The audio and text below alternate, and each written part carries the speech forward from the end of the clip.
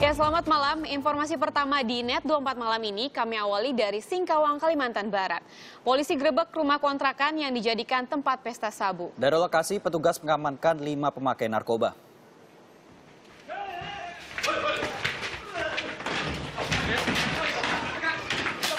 Kasihkan tiga penghuni kontrakan di Gang Satelit Kelurahan Pasiran, Kalimantan Barat yang berpesta sabu terpaksa terhenti saat aparat kepolisian sektor Singkawang menggerebek.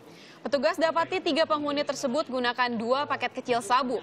Setelah diselidiki lebih lanjut, dua di antara tiga penghuni adalah bandar narkoba kelas kakap di kota Singkawang. Dua bandar juga sempat berupaya kabur saat polisi menggerebek.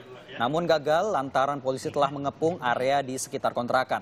Dari penangkapan ini polisi kemudian menginformasikan kepada ketua RT setempat untuk mengetahui identitas penghuni. Namun miris, ternyata ketua lingkungan juga tengah menggunakan sabu. Ya, dari rumah ketua RT polisi dapati alat hisap sabu siap pakai dan timbangan elektrik. biasa dia maaf kata dia pakai di sini Bapak pakai?